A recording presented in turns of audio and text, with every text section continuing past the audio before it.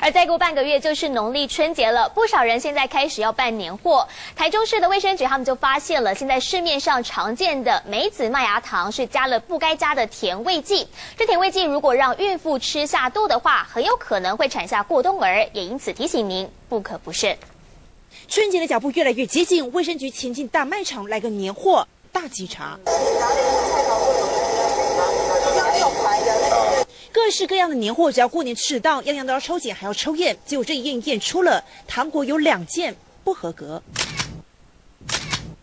糖果里面有添加糖精，这一部分呢，因为是原产地是在高雄，所以我们已经移请高雄再进一步去追踪。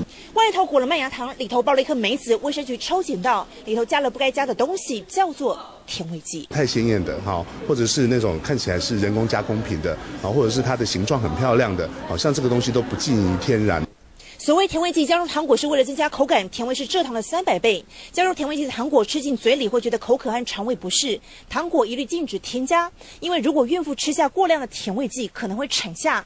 过动儿糖精哈，如果呃吃的太大量的话，哈长期大量去吃的话，可能会造成肝脏、肾脏会有影响。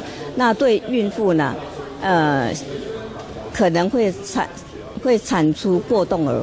市面上常见的梅子麦芽糖加了不该加的甜味剂，过年吃糖，无论大人或小孩，太鲜艳或太甜的糖果能不吃就不吃，多一分留意，少一分损害健康。这是李元斌台中采访报道。